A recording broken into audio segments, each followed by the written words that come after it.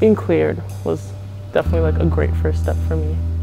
And it was a good feeling. I knew I wasn't completely ready to be thrown out onto the court, but it was just good to be back with my teammates, back into the groove of things. I just remember, first of all, being so tired because I was so out of shape.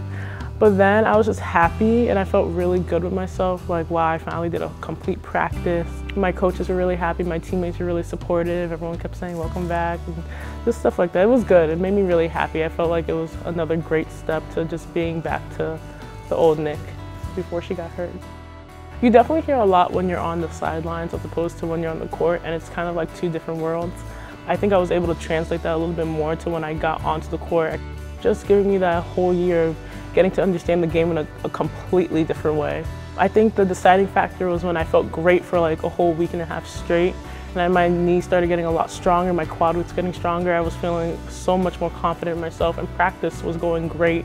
I found out um, two days before that I was gonna play and I was just so happy. It was um, the starting five when we first stepped onto the court and that's when I was like, whoa, like, and the lights were like beaming down and like we had the audience, the refs were there, the bench was there and I just like really like was like, wow, like I haven't been in this situation in a really long time. I think that's when it hit me like, okay, this is your first game back.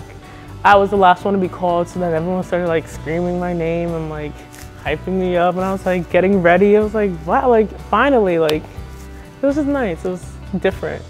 Still working on strengthening my leg because needs to get stronger, and my lateral movements definitely need to get faster. I feel like I'm not as explosive as I was a year ago.